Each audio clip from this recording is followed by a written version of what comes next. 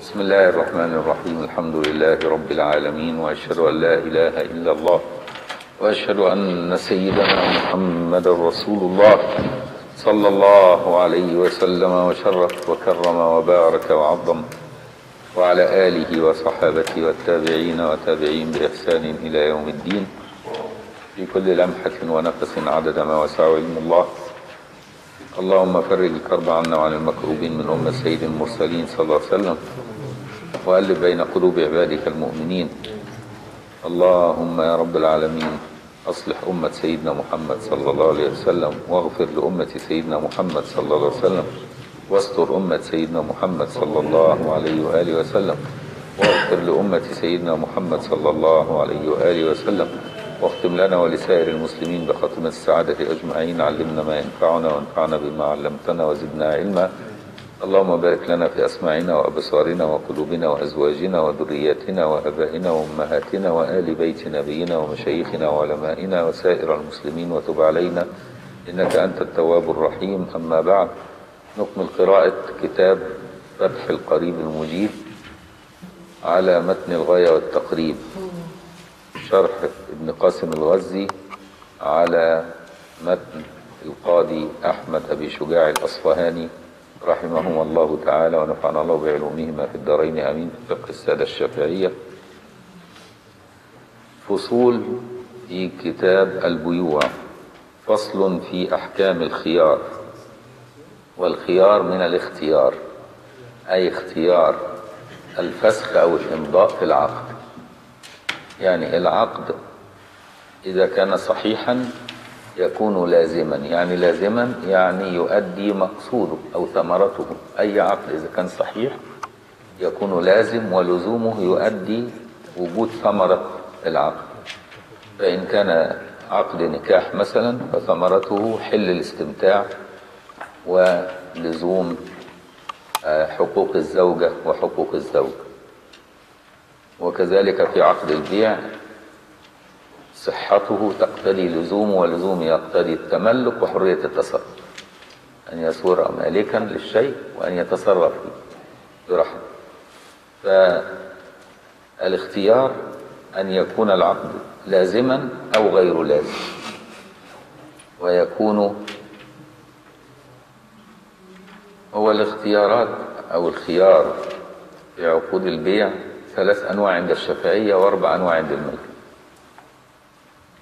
عندنا خيار المجلس وخيار الشرط وخيار العيب ثلاث خيارات. خيار المجلس وخيار الشرط وخيار العيب والملكية يضيفوا خيار الرؤية. الملكية لأنهم يجيزوا بيع ما لم تره على أن يكون لك خيار الرؤية إذا رأيته. لكن الشافعي لا يجيز بيع ما لم تره. لابد انك انت ترى أصلا.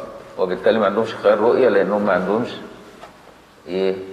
إجازة بيع ما لم تره. عشان كده لا يجيزوا يعني العقد البيع مع أعمى لأن الأعمى لا يرى المبيع كما فصلنا قبل ذلك. يقول والمتبايعان بالخيار ما لم يتفرقا. وده كأنه بالظبط نص حديث بس بإيه؟ بتحوير الرسول صلى الله عليه وسلم يقول في الحديث اللي رواه الإمام البخاري وغيره البيعان بالخيار ما لم يتفرقا. فإن صدق وبين بورك لهما في بيعهما وإن كذب وكتم محقت بركة بيعهما. حديث مشهور وكل الناس حافظينه وقل من يعمل به. يعني ما شاء الله كل الناس حافظين لكن قل من يعمل به في أسواق التجارة فالمتبايعان بالخيار يعني بين إمضاء البيع وفسخه ده شرح ابن قاسم الغزي في مصر. أي يثبت لهما خيار المجلس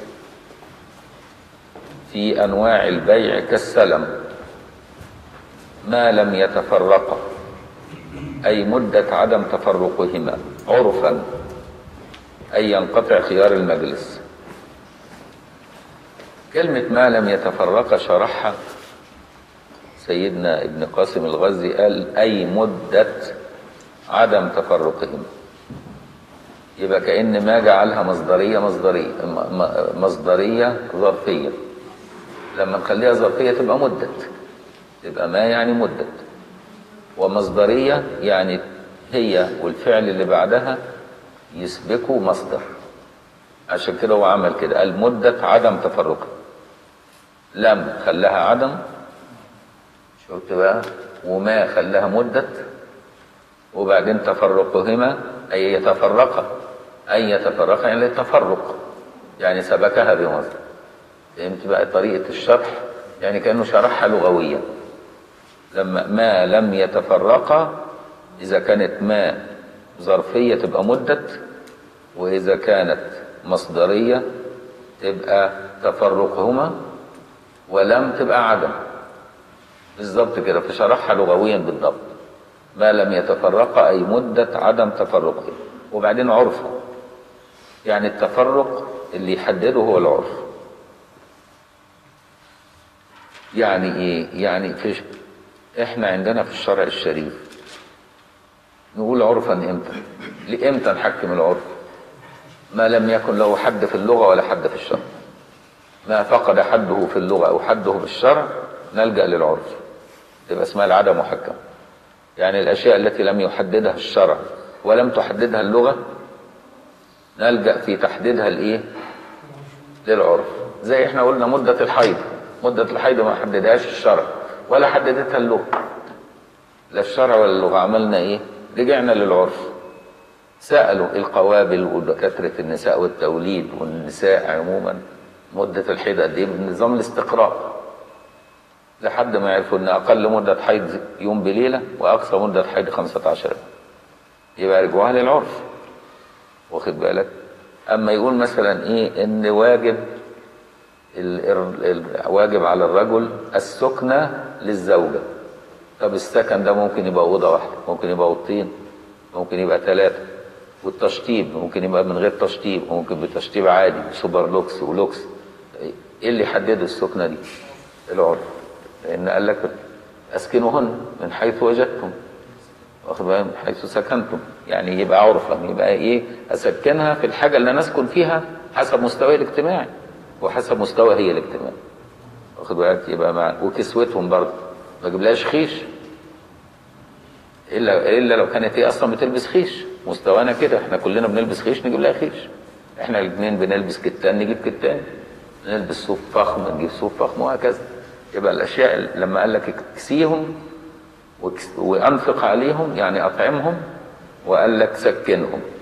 فيها حدود؟ دي اللغة مبينة ليها حدود؟ مش معروف مش معروفة حدود. هل الشرع بين حدود؟ لا. يبقى نرجع للعرف. وهكذا بقى في كل ما لم يحدده الشرع ولا اللغة نلجأ فيها إيه؟ للعرف. عشان كده قال إيه؟ مدة عدم تفرقهما إيه؟ عرفا. عرفا ليه بقى؟ زي ما قلنا لعدم تحديد كيفية التفرق لغة ولا شرعا. فتركها للعرف أي ينقطع خيار المجلس. إما بتفرق المتبايعين ببدنهما عن مجلس العقد. شوف ببدنهما. يبقى هنا إحنا عندنا التفرق بالأبدان. عند الشافعية التفرق بإيه؟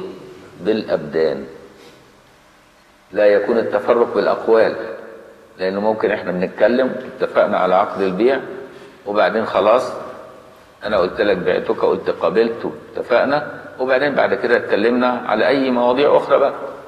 إيه رأيك في المعتصمين في بلان التحرير؟ إيه رأيك في اللي هيزحفوا على المقطم يوم الجمعة؟ طب وهنعمل إيه؟ بقينا بنتكلم في موضوع تاني غير متعلق بعقد البيع. طب وايه رأيك في مكتب الإرشاد والإخوان بيعملوا إيه؟ هل بيعكوا ولا ليهم الحق ولا إيه؟ والأمريكان عايزين حكاية فوضى والمصريين مالهم اتغيروا ليه؟ وقاعدين بقى نتكلم في الوضع العام. يبقى اسمه ده تفرق بإيه؟ بالأقوال. لكن إحنا لسه قاعدين في المجلس. هل هذا يعتبر تفرق؟ الشافعي يقول لك لا طالما أنتوا قاعدين في نفس المجلس ولو فتحتوا 100 موضوع. العبرة بالتفرق بإيه؟ بالأبدان. ولو طال هذا المجلس. افرض ان إحنا مسافرين مع بعض وقاعدين في فندق في اوضه زوجي مع بعض ثلاث أيام يفضل مجلس العقد الثلاث ولو طال. واضح؟ يعني في أي وقت ممكن نقول إيه بقول لك إيه العقد اللي بيني وبينك ده أنا مش هنفذه. في أي وقت. طالما لم يحدث التفرق بالابدان ولو طال عرفا. برضه. واخد بالك؟ ولو طال عدة أيام. قيد التفرق بالأبدان. الأبدان يعني إنك أنت تسيب مجلس العقد وتمشي تنصرف. خلاص لما المكالمة تنتهي لما تقفل الشاشة في ال conference بالإنترنت conference. ما هي دي برضو آه يعني بأي صورة كانت يعني اللقاء ينتهي اللقاء. سواء كان هذا اللقاء تليفوني يبقى انتهت الم- المكالمة أو هذا اللقاء على شاشة. واخد بالك إزاي؟ أو هذا اللقاء في مكان. يبقى العبرة بالتفرق إيه بالأبدان؟ ليس التفرق بالأقوال زي ما قلنا عند مذهبنا لأن في مذاهب تانية قالت التفرق يكون بالأقوال. يكفي. واخد بالك؟ يبقى انعقد العقد. طالما بقى إيه؟ ده فتحنا موضوع آخر. ولا بالأرواح. يعني لو مات أحدهما بعد ما اتفقوا هم في المجلس واحد منهم مات. ينتقل خيار المجلس للورثة. واضح؟ ده لو مات. يعني لو حصل تفرق بالأرواح أحدهما مات ينتقل للإيه؟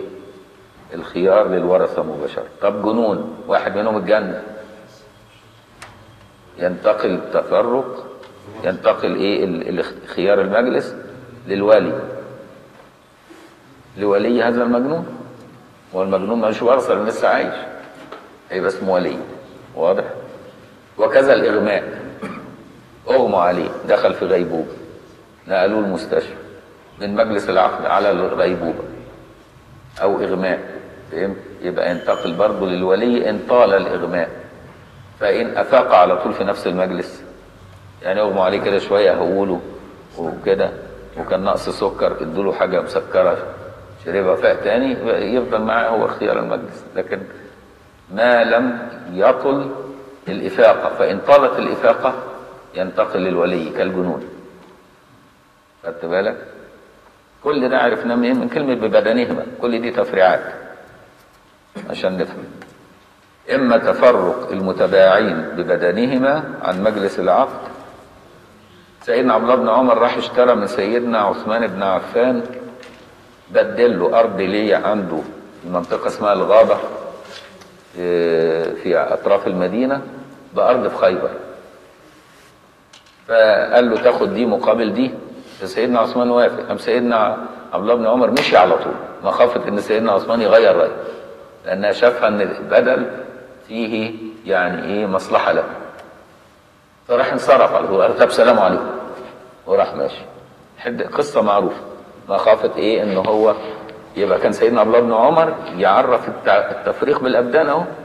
وده فهم سيدنا عبد الله بن عمر اللي خده الإمام الشافعي في مذهبه إن التفرق العبرة بيه بالأبدان لأن كان ممكن يمكث معاه ويتكلم في موضوع مولانا هنيجي بقى في في العيب الخيار بالعيب. يحميك لو أنت اشتريت بضاعة مضروبة. خلاص يبقى دي لانتشار الغش. ولتسرع الناس. ولتسرع الناس.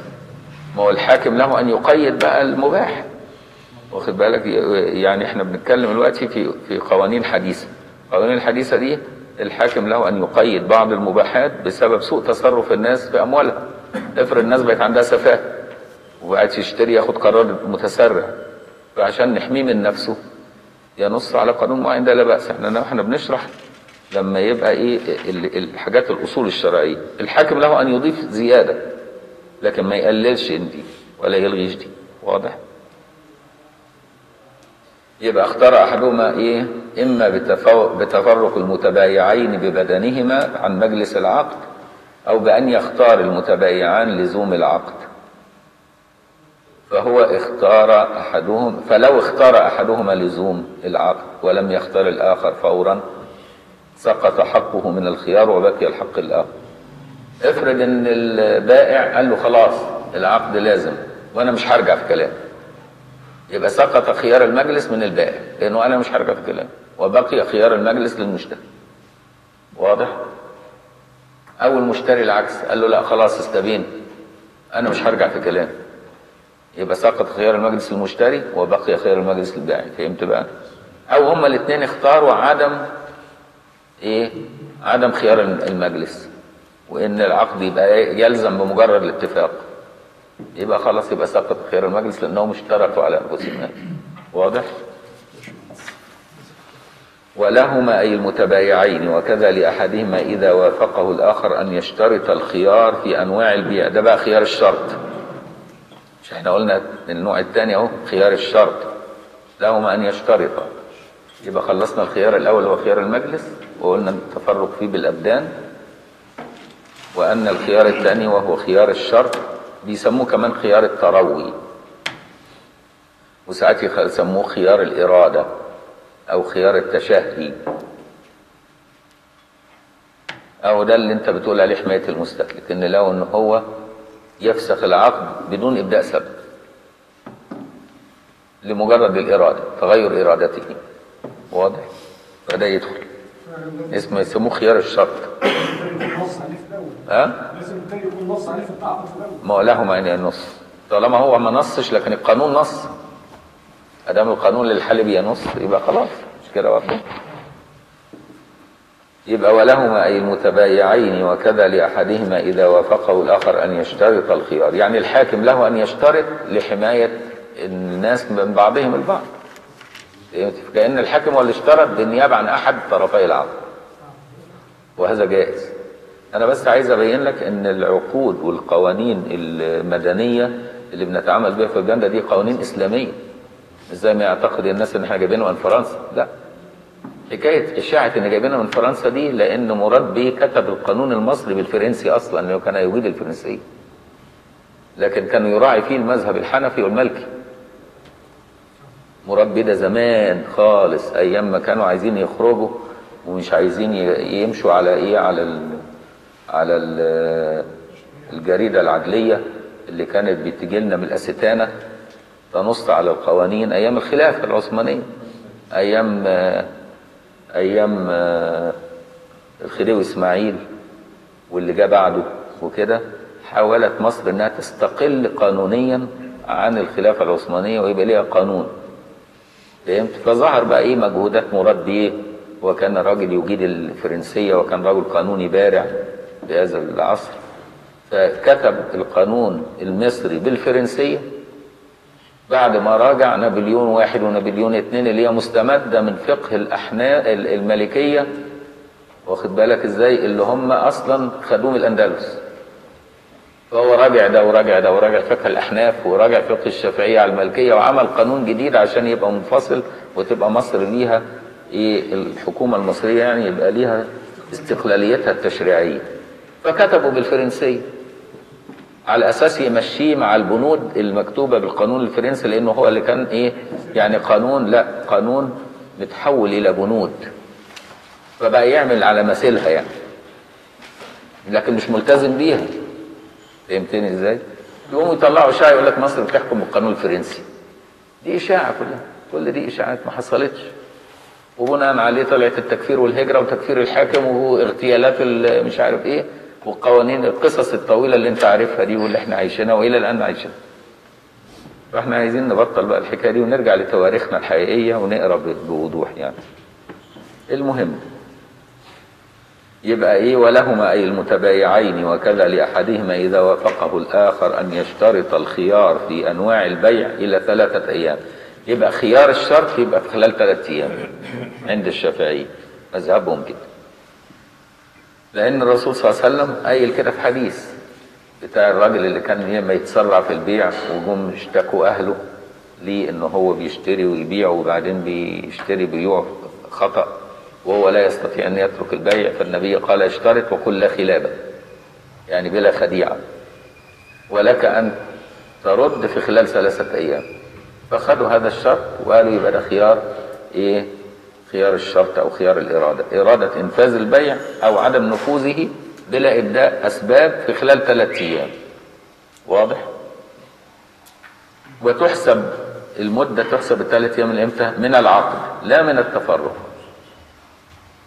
فلو زاد الخيار على الثلاثة بطل العقد بشرط أن المبيع ده لا يفسد في خلال ثلاثة أيام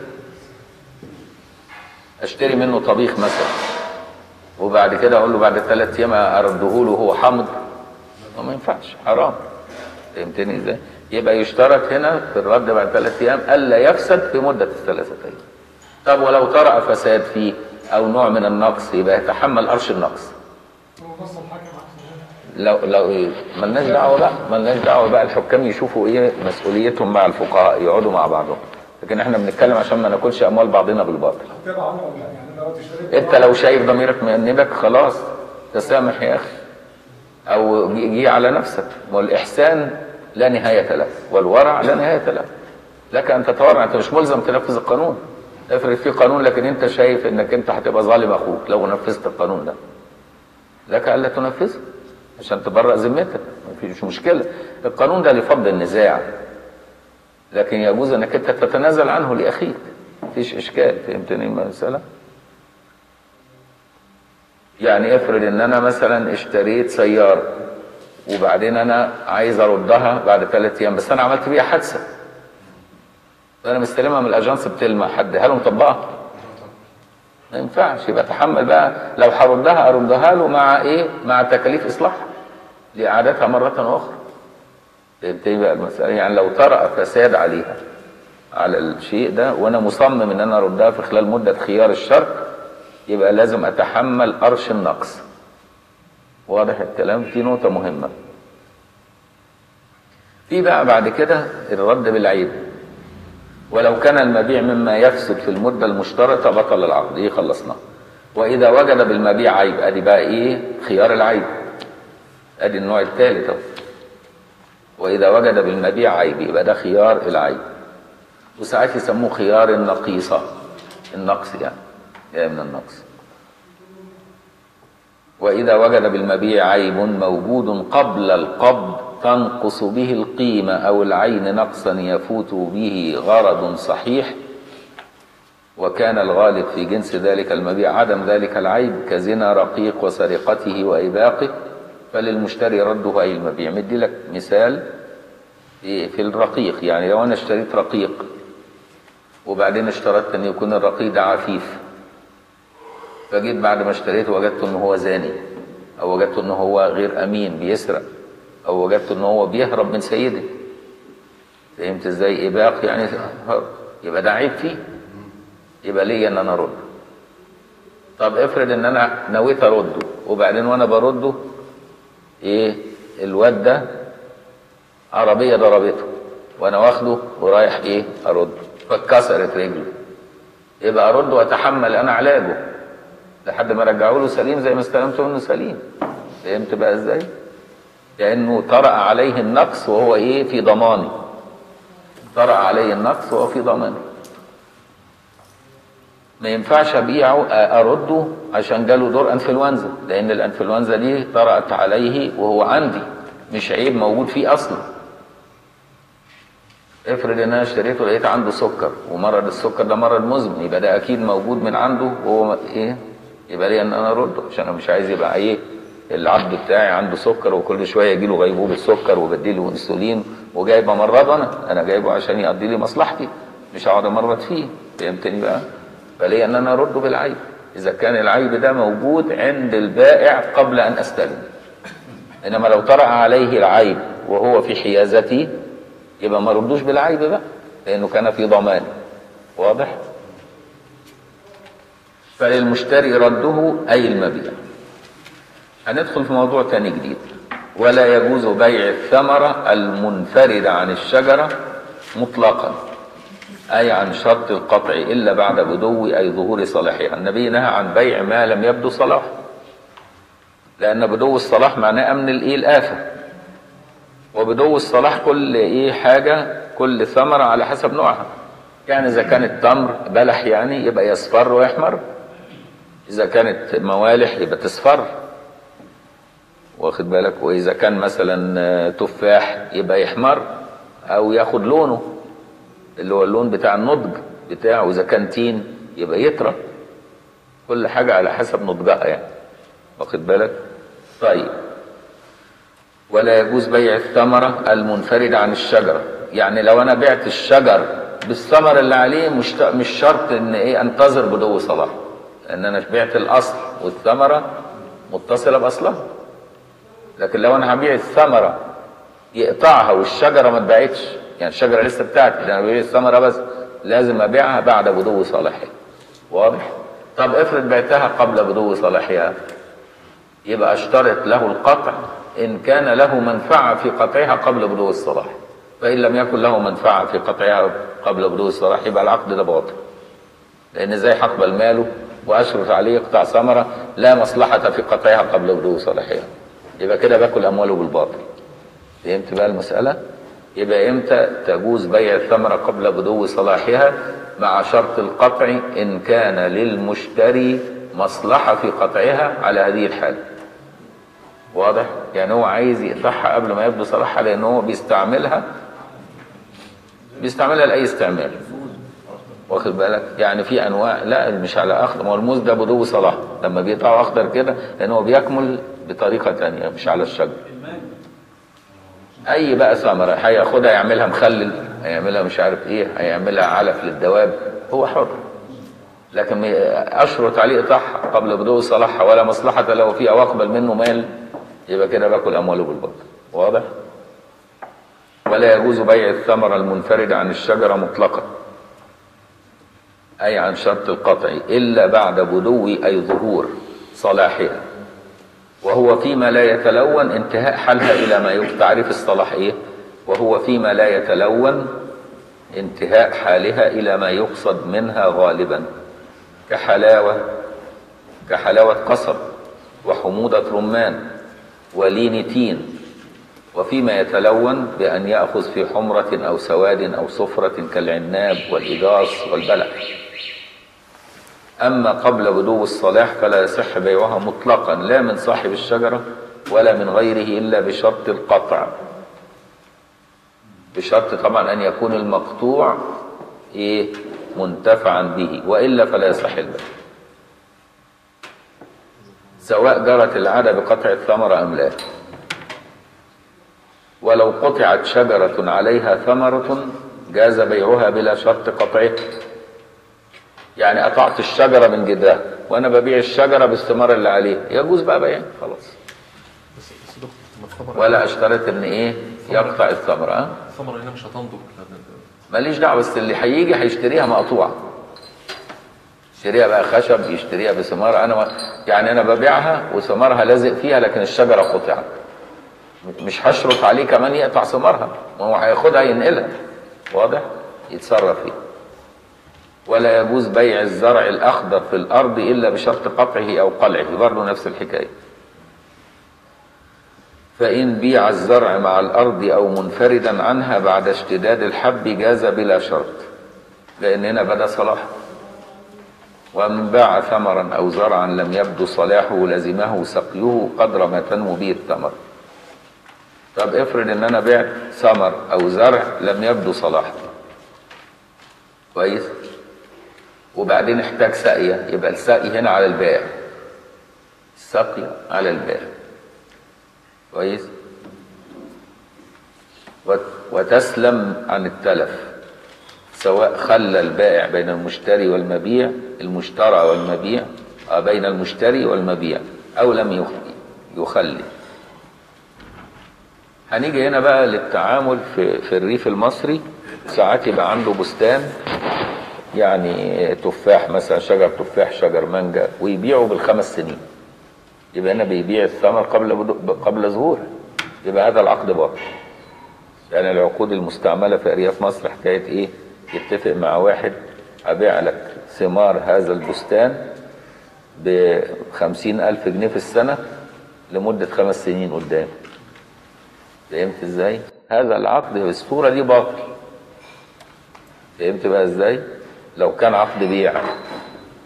لكن لو اتفق معاه عقد انتفاع يبقى عقد صحيح. يعني لو حولها عقد انتفاع والفرق بين عقد الانتفاع وعقد البيع إنه لا يعود لا تضمن أنت في حال ما لم تثمر الثمر. الشجر واضح؟ ملناش دعوة. أنت هتقول له إيه؟ أنا يعني نعمل بيننا وبين بعض عقد انتفاع أن تنتفع بهذا البستان لمدة خمس سنين مقابل مبلغ كذا في السنة. عقد انتفاع وليس عقد بيع. الفرق بينهما في الضمان. إن عقد الانتفاع لا تضمن وعقد البيع تضمن. لو كان بيع وجت سنة ما ثمرتش يبقى هو باطل من الأصل. ولو جه سنة ما اثمرتش ما تاخدش تمن ما تاخدش فلوس. فهمت بقى إزاي؟ ويبقى العقد باطل من الأول. ولو هو استمر العقد مع بطلانه لعدم علمك ببطلانه تبقى تضمن إنك ترد له الثمن لو لم يثمر إيه الشجر في سنة من السنوات. فهمت بقى المسألة؟ آه. أيوه. فهم ما خدوش الفلوس. خلاص كويس. هو الأحسن يبيعه سنة بسنة بعد بدو الصلاح مصلحة للبائع ومصلحة للإيه؟ للمشتري. عشان ما تبقاش فيها مخاطرة ده الأحسن. ما هو إحنا بنقول الإيجار هنا إيجار يعني إيجار إيه؟ أصل أنت الشجر ما بيتأجرش الشجر بيشترى ثمره. غير الأرض الأرض تتأجر لأنه يقدر يستفيد بيها يزرع ويحصد. لا لا ما ينفعش يسمى يسموه عقد انتفاع. لا تملي تملي العقود دي بتتكتب كده عقد بيع ثمار الغيث الفلاني اللي حدوده كذا والمكون من كذا إيراد. بتتكتب كده. أنا أصل أنا اطلعت على العقود دي في الأرياف. تملي يتكتب كده عقد بيع ثمار. فاذا فإذا اتكتب بالصورة دي يبقى هنا واخد بالك هذا العقد باطل طالما لم تبدو صلاح الثمار. واضح؟ طيب لو هو في ناس يقول لك ما أنا ما أقدرش أنا مش قاعد في البلد وأنا ما أقدرش أبيعه كل سنة وما أعرفش أراعي الثمار بتاعتي. الشجر لأنه بيحتاج يتسقي في مواعيد معينة يحتاج يترش بترويج معينة وأنا راجل هنا قاعد في المدينة. فده بيريحني. لما بيبقى مسؤول عنه هو بيريحني. طب أنا اعمل إيه نقول له اكتبها عقد انتفاع.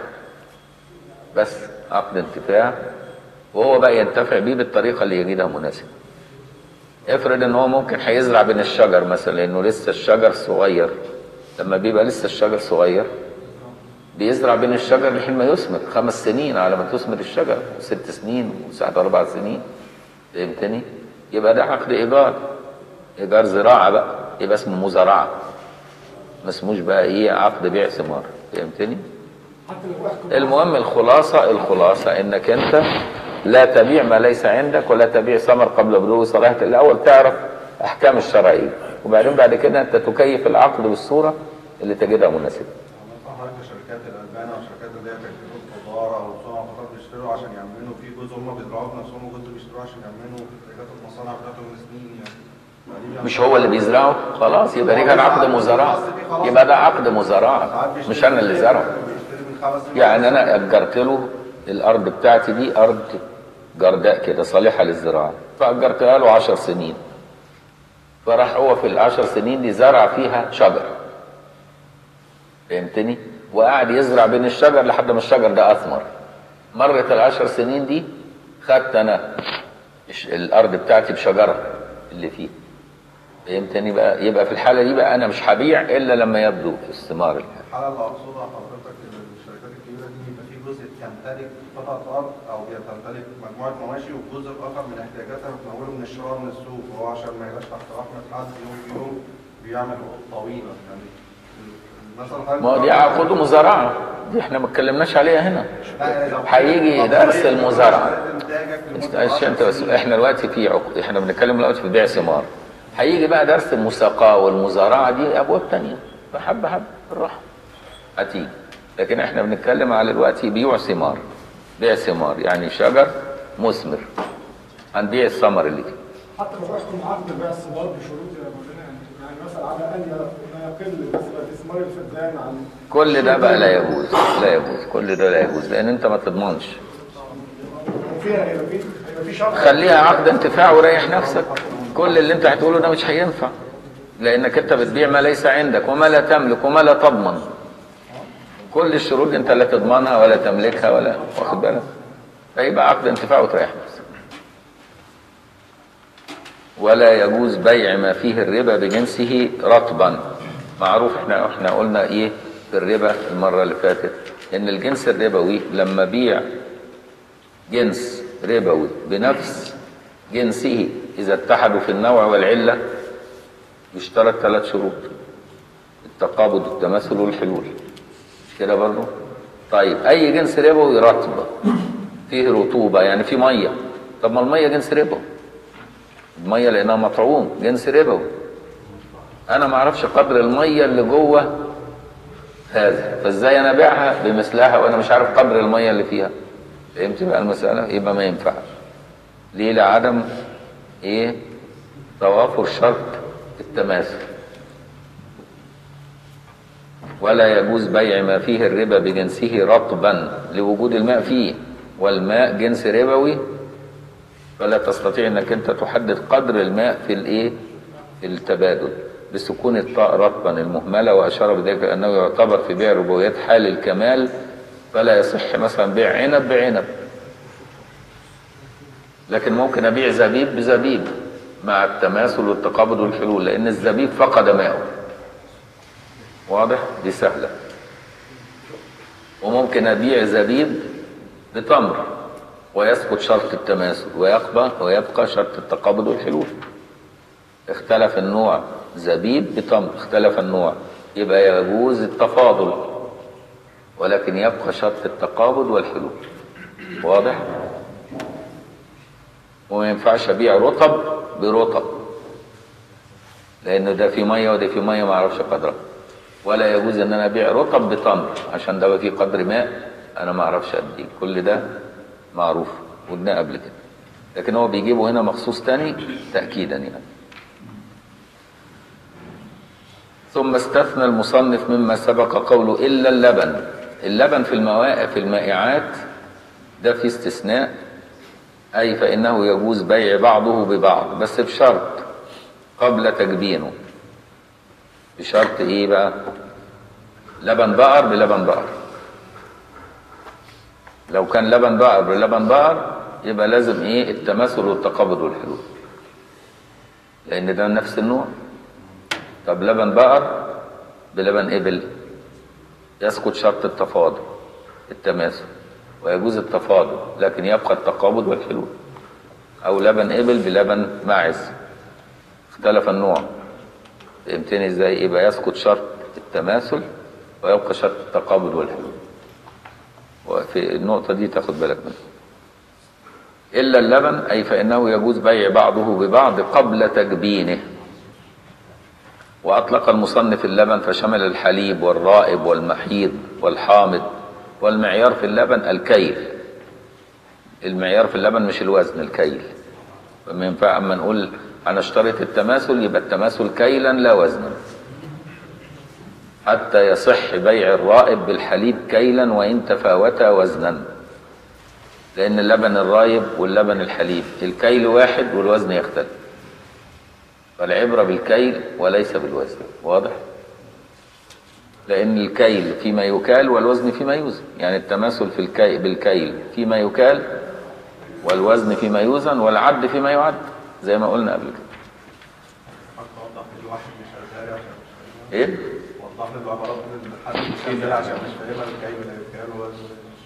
يعني الحاجة اللي هي الناس بتشتريها كيلا يبقى التماثل يتحدد بالكيل والحاجة اللي الناس بتشتريها بالميزان يبقى التماثل بالوزن؟ الكيل اللي هو الحجم. آه حجم الكيل اللي هو الحجم والوزن اللي هو الكثافة مع الكتلة.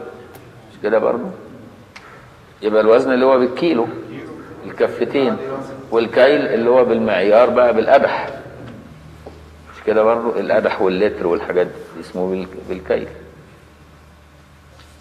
والله تعالى أعلى وأعلم. ونقف على فصل في أحكام السلم. ولو في أسئلة في اللي فات نتكلم فيه. طبعا. دكتور أغلب اسواق الفاكهة بتاعت الجملة الموالح الموز بالذات بتتباع خضراء هل ده بيع سليم؟ آه لأن هو ده صلاحه لأن الموز أصلا ما ينضجش على الشجر. ده هو بيصل مرحلة معينة هم يعرفوا اللي بيزرعوا الموز إنه بيتقطع أخضر وبعدين بيتحط بطريقة معينة يحفظ بحيث إيه ينضج بقى يكمل نضجه. فهنا يجوز إيه؟ شراء بهذه الصورة لأن هو ده نضجه على الشجر. طب والموالح؟ الموالح الفترة دي الم... لو الواحد كلها بتبقى مرة آه، لا العبرة بقى هنا في الموالح إن بعض شجر ال... ال... اللي في البستان يكون اصفر بعضه مش شرط كله. فساعتها تبيع بقى الكل. وهو بقى يقطع براحته. فأحيانا هو يروح مقطع بعض الأخضر عشان الناس في أول الموسم يعني عايزة تشتريه بسرعة لأنها بقى لها مدة محرومة منه. فيقوم يشتروا الأخضر ده. لكن هو قطعه أنا ما شرطتش عليه يقطعه ولا ما يقطعوش لكن هو إيه؟ يعني في طريقه إلى الصلاح. يعني إذا وافق المشتري يسقط شرط ال- الشرط عن البائع؟ شرط إيه؟ يعني- النضج؟ آه. لا. يعني لو تنازل له عن حق الشرع لا يتنازل له عن حقه يبقى سفيه. يقوم الشرع يحميه. واضح؟ حتى لا تأكل ماله بالباطل بسبب سفاهته.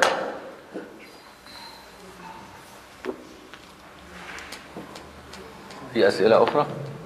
سبحانك اللهم وبحمدك نشهد أن لا إله إلا أنت نستغفرك ونتوب إليك. صلى اللهم وسلم وبارك على سيدنا محمد وعلى آله.